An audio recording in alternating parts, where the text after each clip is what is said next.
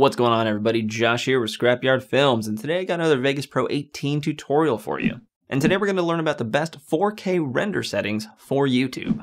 And just in case you weren't aware, Vegas 18 is also included in Vegas Post, a full-on post-production package that includes Vegas Effects, Vegas Pro, and Vegas Image. I'll have all the information and affiliate links linked in the description below if you want to check that out. So let's go ahead and jump into Vegas 18. Okay, so we have Vegas Pro 18 loaded up. Now let's just say you have your project already done in here and you're ready to render. We're going to go up to File, Good Under Render As, and then we have a bunch of options right here. You're here for the best render settings, so I'm going to tell you those first. That is Magix Intermediate.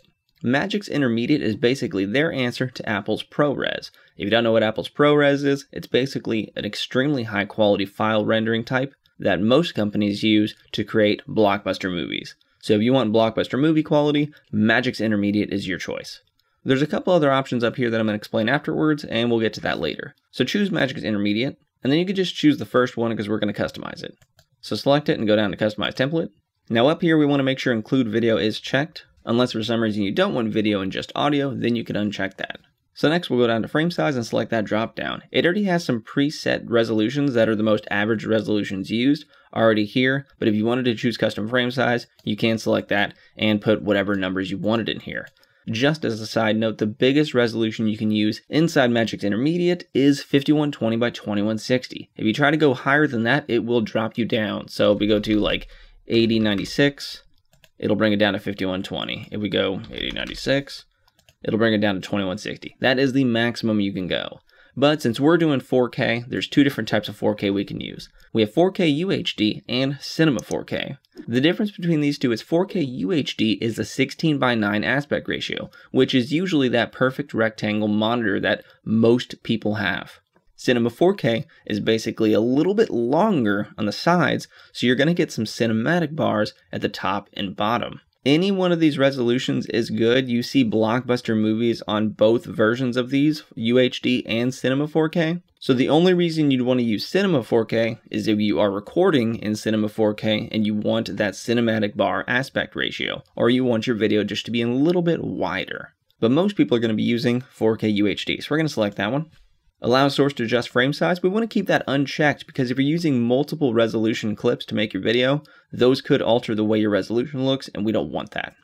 We're going to skip profile real quick and talk about frame rate. You can drop down the frame rate and it has predetermined frame rates to choose. The lowest is 23.976 and the highest is 60. Now depending on which one you use, that's going to adjust how big your files are. So we're going to start with 23.976 or 24p. And let's go up to the profile. If we drop this down, we see a bunch of options right here.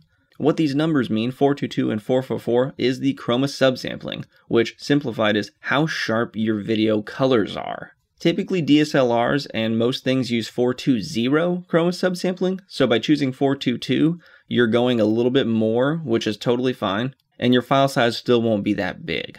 The only reason you want to choose 444 is if you're using 444 chroma subsampling when you're recording your footage on a really high-end camera. Most people can't afford that $15,000 camera to record this type of video, so by choosing this, the only thing you'll be doing is increasing your file size and you won't visually see anything different. So stick with the 422s. Now starting at the top we have Proxy, LT, and then we got the blank regular 422 and HQ. By selecting one of these, the only difference you're going to see is how big your files are. It's changing the bit rate. So with 4K UHD, if you choose proxy, your bit rate's usually going to be around 100 to 140 megabits per second. If you choose LT, your bit rate may go around to about 200 megabits per second. If you choose regular 422, your bit rate can go up to about 400 megabits per second. And if you choose 422HQ, then your bit rate's going to be above 500. So depending on your source footage, you don't need to go above whatever that bitrate is. So let me give you an example. I can record my footage of myself in either 150 or 400 megabits per second. So I'll never need to use 422HQ. And so if I'm recording the 400 megabits per second, I'll want to use intermediate 422 regular. If I'm recording in my 150 megabits per second, I'm just going to stick with proxy because that's really close. Now this number changes depending on your frame rate. So if we go down to frame rate and you choose, let's just say 60, which is another very common choice, and we go up to our options, if you choose proxy, your bitrate is going to be around the 300 megabits per second range. pretty much double. If you choose LT, we're looking at over 400. If you choose 422, we're looking at over 5 to 600. If you choose HQ, we're looking at over 6 to 700 megabits per second. And that's just huge. So if I ever want to render 4K 60 frames per second stuff, I'm always choosing proxy. So again, choose your profile and frame rate based upon what your source footage is, and you'll be fine. By default, field order is none progressive scan, and you can't change it to anything else. For pixel aspect ratio, you can either choose 1 or 1.333. By choosing 1.333, your video is going to be stretched wide, and most people don't want that. So by default, let's keep it on 1. Output color space, you can't change that to anything, so keep it default. We do have a disable hardware acceleration button down here, so if you want to render using your processor only and not be assisted by your graphics card, you can choose this option. But by leaving it unchecked, your graphics card will be used and your rendering will be a bit faster. Let's go down to the audio tab. First option up here at the top is include audio, and that's always checked. You can uncheck it if you do not want audio for whatever reason. Sample rate, you can't change that, it's stuck at 48. So let's go down to the project tab. Video rendering quality, I always like to put this on best. Stereoscopic 3D mode, I always keep it on use project settings unless you have some specific 3D settings you need to change it to, but usually you'll always want it on use project settings. For color space, I like to set this on Rec 709. That is the average color space you see most movies and TV shows in. So by selecting this, I ensure I have the most accurate colors.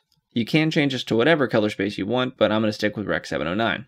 For color range, by default, you're going to be on limited, but you'll have the option to change to full. This again is going to change depending on how you recorded your footage. So your best bet is to select one of these, render a small portion of it, see how it looks, select the other one, render a small portion of it, see how it looks, and compare them and see which one looks better to you, and then use that one.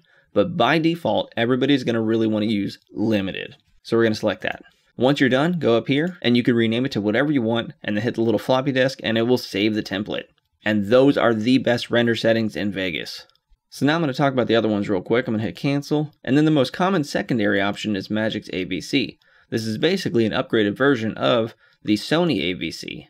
But by choosing Magix AVC, you can still render some high quality things, but you may see some banding and the sharpness may not be as crisp as Magix Intermediate. And then we have Magix HEVC, which is the high efficiency video codec. Basically, this renders your high quality video at about 40% smaller file size. The only downsides to using this is first, it takes forever to render. It takes a much longer time to render. And second, depending on what kind of hardware you have, AMD, Nvidia, you know, things like that, you may see some weird little glitches or color splotches. I've had some pixelation issues, and so I typically stay away from HEVC. But again, you're here for the best render settings, and that is Magix Intermediate. And there you have it. If this tutorial helped you out, be sure to shoot a like and subscribe down there, because that'll really help me out. And if you wanted, you can support the channel through Patreon. I'll have the link in the description below. So thanks again for watching, and I'll see y'all in the next video. And I want to give a special shout out to all of my super subscribers up there at the top. Be sure to check out their channels for some awesome content.